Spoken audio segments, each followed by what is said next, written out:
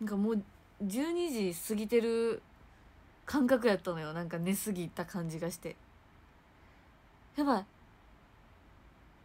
やばいショールームみたいな。でパッて携帯つけたら8時ぐらい。であいやまだ全然大丈夫よそう。びっくりした。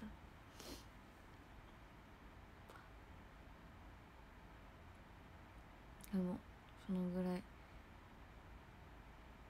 睡眠が取れた。でもめっちゃ夢見てたんですけど。でもすっきりした。ちょっとチョコ食べよう。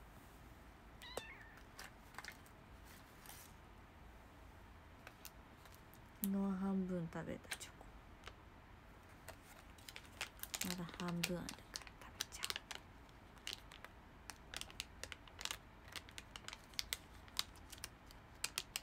おう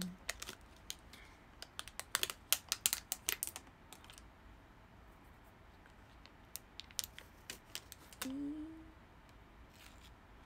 夜ご飯は食べたって食べた。本当に。本当にパパッと食べた。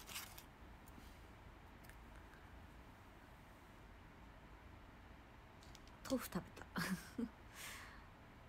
えー、いただきます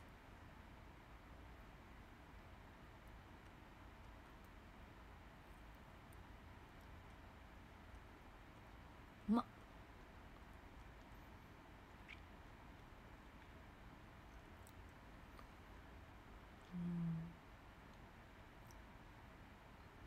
生チョコってそうコンビニで売ってる。やつ。うまっ。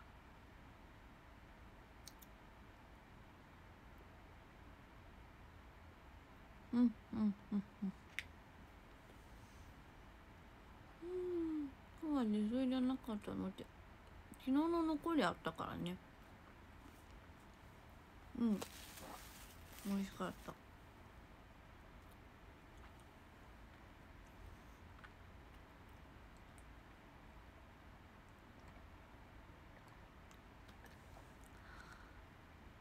へいルイボスって。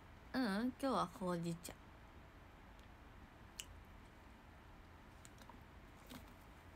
ま。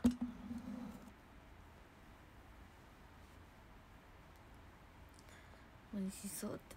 美味しい。ほうじ茶って美味しいよね。ほうじ茶ラテは苦手なんですけど。普通のほうじ茶は美味しい。だしの素買ったって買ってきただしの素ちゃんと。ほんとびっくりだわ。昨日なかったの。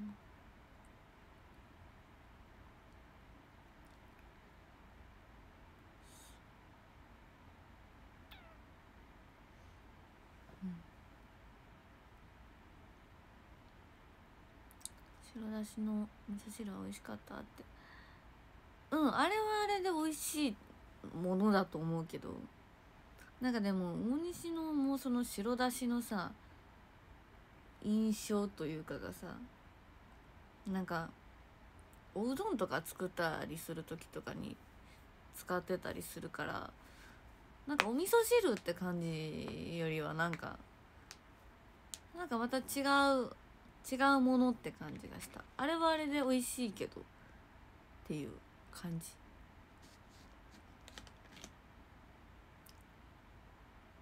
うん。ま。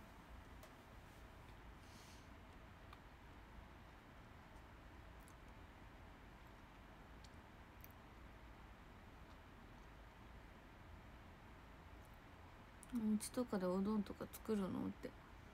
うん。作る。なんかめんどくさいなって時とかは。おうどん。うどんか。パスタかみたいな。は楽ちんだよね。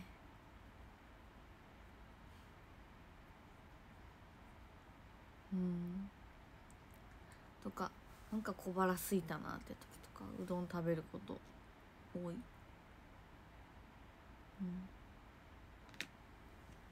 うまっ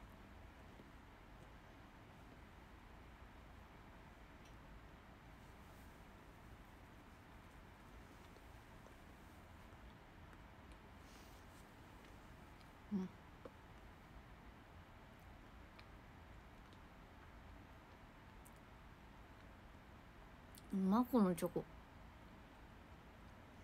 やっぱり薄味？ってどうなんやろうね。薄いのかね。そのなんかさ関西は薄味とか言うやん。その東京の濃い味のうどんをさあんま食べたことがないからさ薄いかどうか分からへんねんけどさ。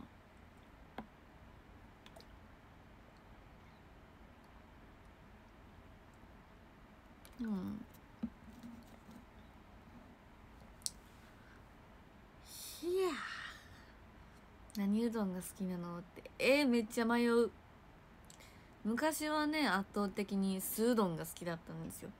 何も入ってない。おネギとかも何にも入ってない。おうどんが好きだったんですけど。やっぱね東京にはうどんのねチェーン店いっぱいあるからね。花丸うどん。西は花丸うどんが好きなんですけど。あれのお肉乗ってて卵乗ってるやつ。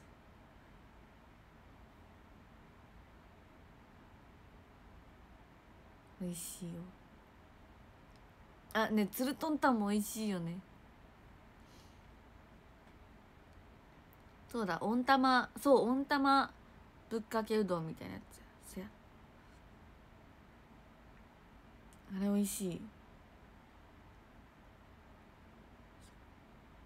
あれと花丸行った時はあのー、だ男爵コロッケみたいなやつを絶対に絶対にあのね買うの。であのソースをめちゃめちゃかけて食べる。うん。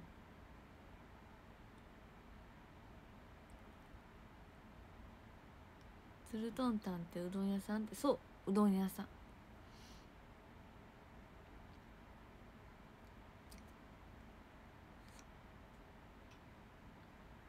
味濃いの好きやねって。そう。そう味濃いの好きなんですよね。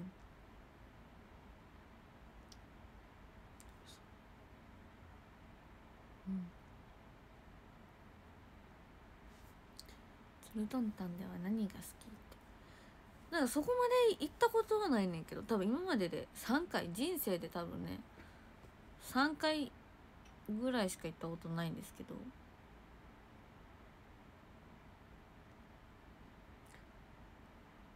回目はあの三国無双の時に行って2回目はおどんろの時に行って3回目は一人で新宿の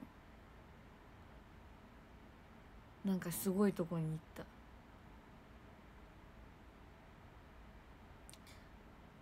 なんかお酒がいっぱい置いてて日本酒みたいな瓶。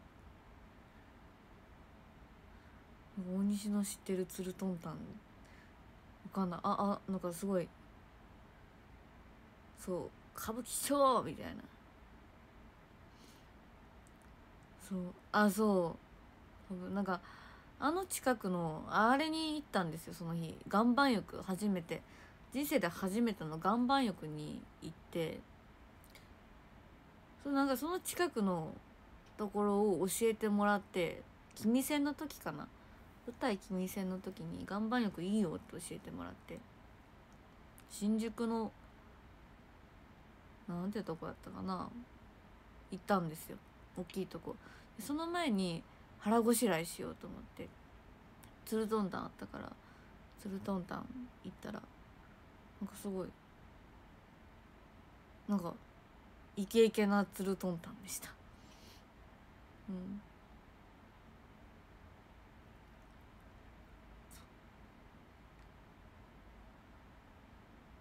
なんかすごかった。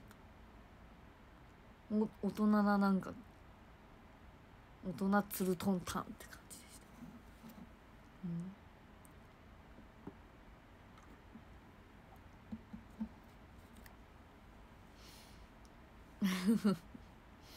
そう。そこは一人で行ったんですけど。すごいなんかあの辺をこのこの話前もした気する。なんかあの辺を初めてなんか歩いたんですけど。でもあこもう西なんか知ってる場所やと思ってさそのサウナ岩盤浴まで行った時に。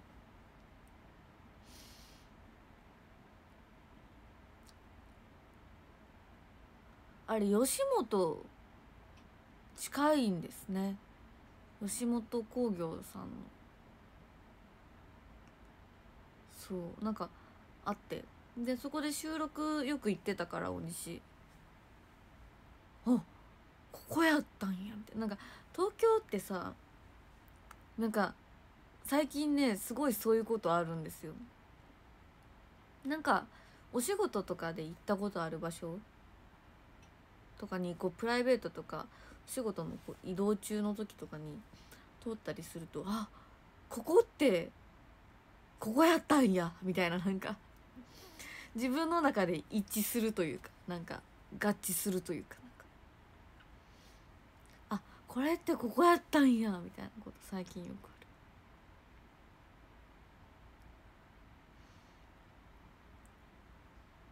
そう。やっぱわかんわかんないからお仕事で行ってる時って。そう。わーって思う。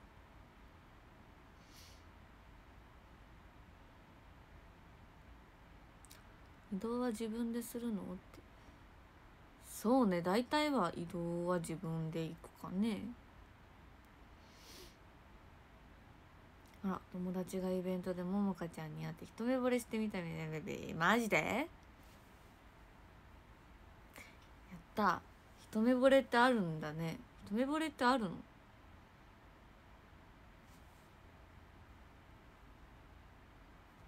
嬉しい。ありがとうございますってお伝えください。ぜひ。あるよって。一目惚れってマジですごくない？大西人生でする気配がないんだけど。一目惚れって。一瞬で好きになるってことでしょ？中身を知らない状態でパッて見てあ好きってなるってことでしょ？すごくない？それ。でもなんか男性の方がなりやすいってあるんでしょなんかそれ。なんかそういうの見たことある記事で。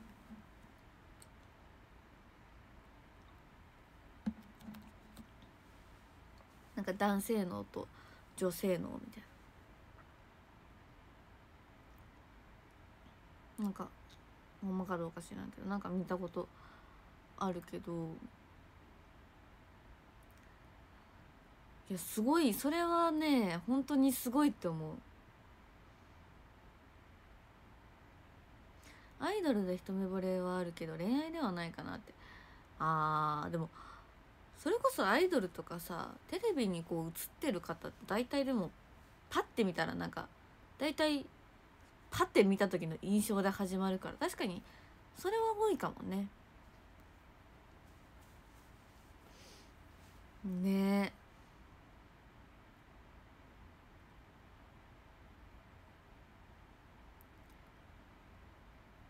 いや面白いよね。なんか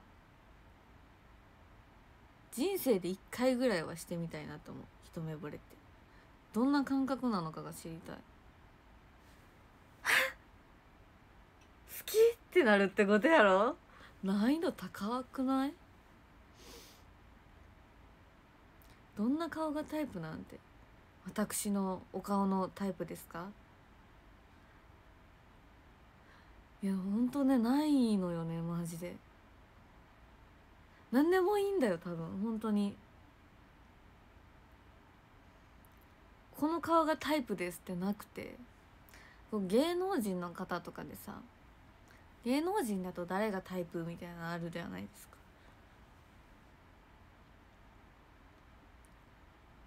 ないなんかかなんだろうね。本当にない。本音でって。いや本当にない。別に。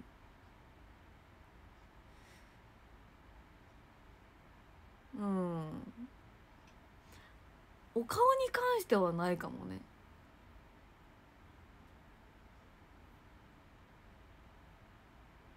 うん。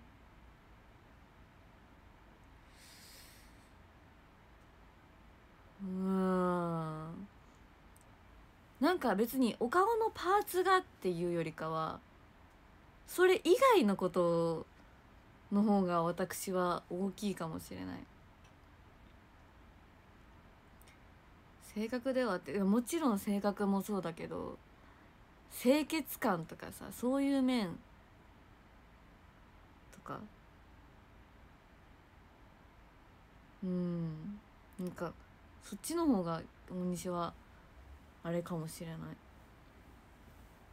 別にそうお顔のパーツのタイプはねそんなないんですよ。男性は特になくて女性だとなんか大西は目がつってる子が可愛いと思ったりもするんですけど。でもでもなんですよね。なんかそれイコール恋愛になるかで言ったらまた全く別みたいな。お顔で自分が可愛いなって思うのはその人はちょっとつり目の女の子とかが好きなんですけど。うん。いやそれとこれとはまた違うよねっていう感じかもね。メンバーで例えれば誰ですって。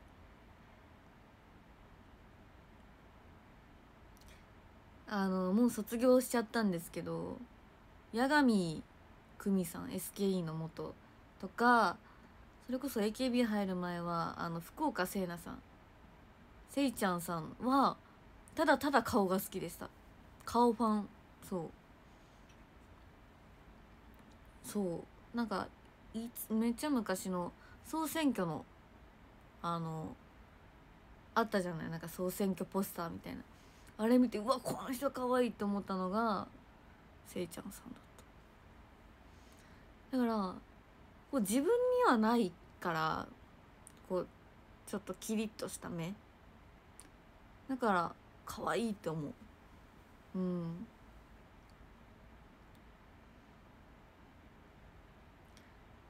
恋愛ならどんなタイプがお好きなの？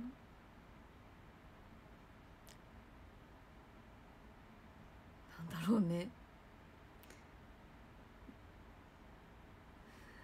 でもきっと恋愛になると顔とかさ絶対どうでもよくなるような気するけどね。男性でも女性でも。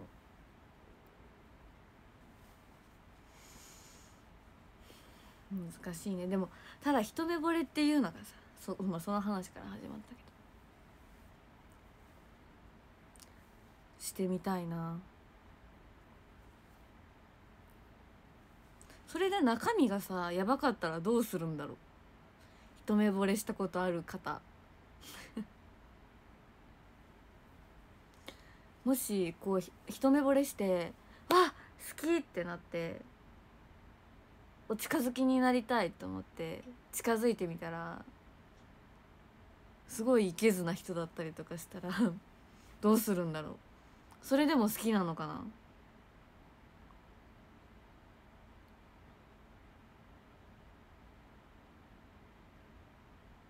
沼るんじゃないってああそっち系？沼るか冷めるかどっち？まあまあどっちかに分かれるか。うん。幻滅ありえるってね。確かに。ってなると一目惚れって難しいもんよね。ね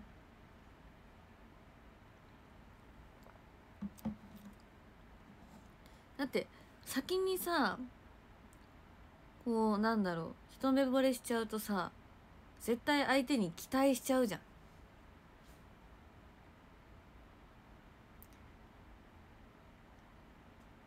うん。それでさなんか近づいてみたらあれ自分が思ってたんと違うって思ってさってなりそうやけどね。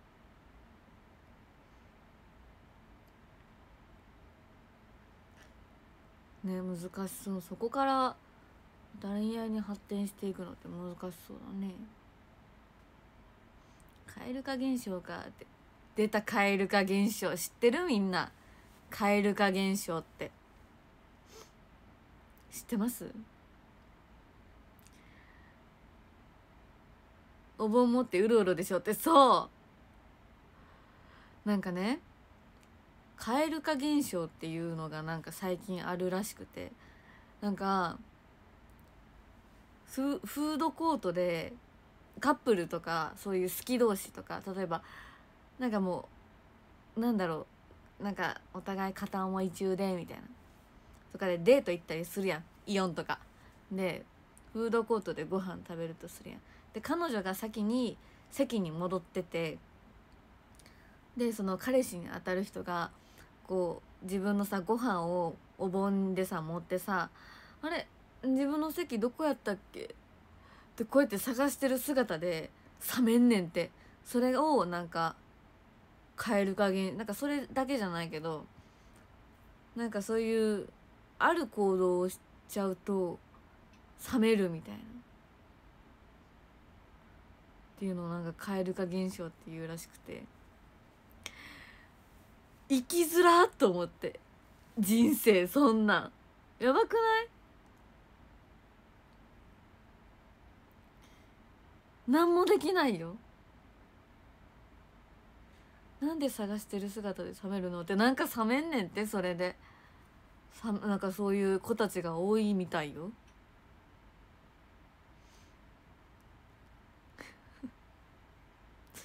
フードコートは行ったらあかんってことって。うん。そういうことになるね。どういう理屈って。なんやろ。なんかでも女の子がそうなることが多いみたいで。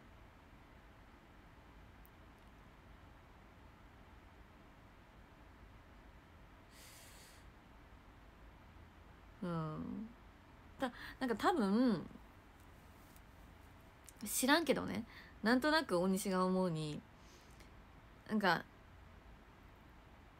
例えば女の子がこの男の子を好きとするやんこの男の子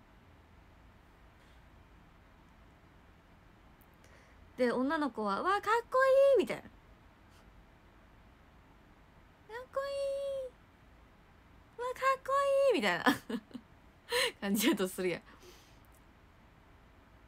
でそのかっこいいっていうその感じからなんかそういう多分人間らしい姿を見せられるとかっこよくなってなっちゃうのかねっていう。多分それであ探してる可愛いってさなると別に何ともないんだろうけどもうその人のかっこいい像がきっとこの女の子はできてるからっていう。知らんけど。なんか。そんな感じなんかなと思ったりもしてんねんけどさ。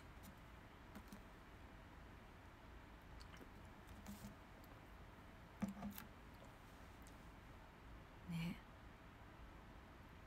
勝手すぎる件ってね。いやこれはえそれアイドル大丈夫？ってえどういうこと？どういうこと？やばい？もし言ってることやばい？アイドルとして言ってることやばい？大丈夫？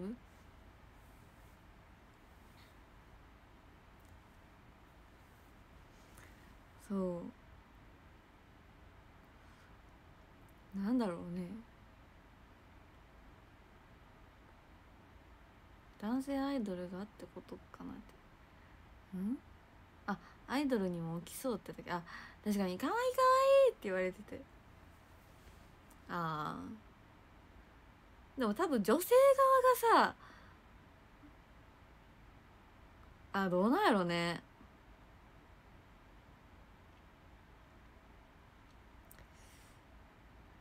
いや難しいな。ねいや大変だよ本当に。だから。本当に。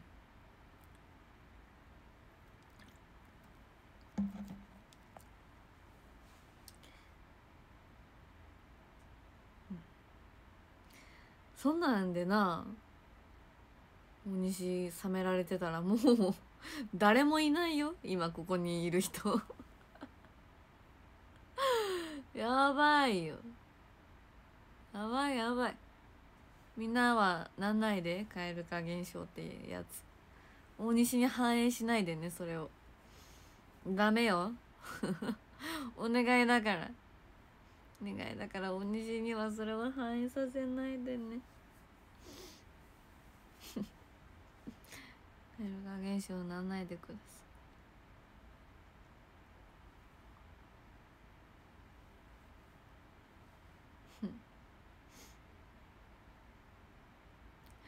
もう大丈夫やろ。確かに。確かにな。もう大丈夫よななんか。ね。ありがとう。これからもよろしく。やばい。もうそろそろ時間？ああまたお風呂の時間がやってきたよ。あ あって言ってる姿もあれなのかな蛙化現象になっちゃう方は。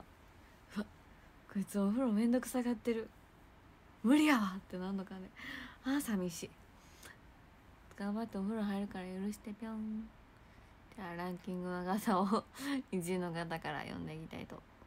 思います。いきますよ。えー、1位チーナとマークアメリカの大西軍さん。ありがとうございます。イエイ。そして2位がハギハギアットマークももちゃん大好きさんありがとうございます。イエイ。そして3位がさとちアットマーク大西軍さんありがとうございます。イエイ。そして4位がよっちゃんゆうももち大好きだよさんありがとうございます。イエイ。そして5位がラムちゃんさんありがとうございます。イエイ。そして6位がケイジさんありがとうございます。イエイ。そして7位が KITT さんありがとうございます。イエイ。そして8位がエイトさんありがとうございます。イエイ。そして9位がマークアコードアットマーク、えー、太田郡大西第一空挺団さんありがとうございます。イエイ。そして10位がおやちゃんありがとうございます。イエイ。そして11位が黒芝のりこ店さんありがとうございます。イエイ。そして12位が翼さんありがとうございます。イエイ。そしてラスト13位がえしんちゃんかっこやぶきさんありがとうございました。イエイ。ありがとう。ということでですね本日はこの辺で終わりたいと思います。ほんまに髪の毛ボッサボサ。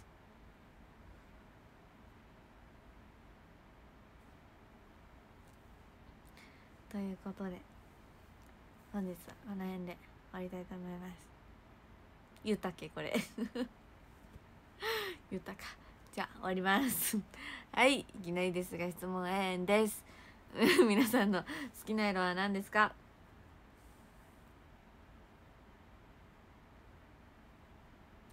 でもでもやっぱりそこは？せーの桃色。はいありがとうございます。奈良県代表の西桃香でした。えー、今日も見てくださった皆様本当にありがとうございました。ではおやすみなせう。じゃあね。